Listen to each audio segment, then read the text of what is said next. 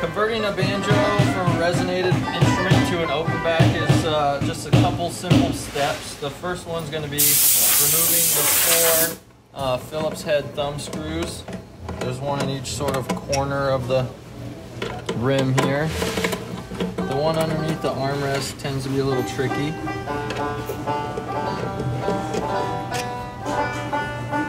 But there's four of these total, you get rid of all those. And now you're free of the resonator. I'm gonna stick those in there so we don't lose them. And then there's two brackets going through each of these plates.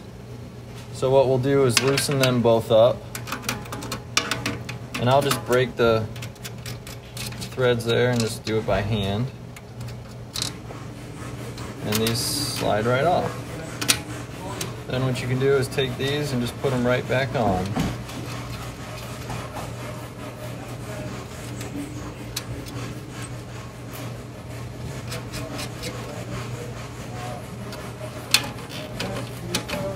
Tighten it about a couple turns past resistance. And repeat that process with all four of these plates. And that's it.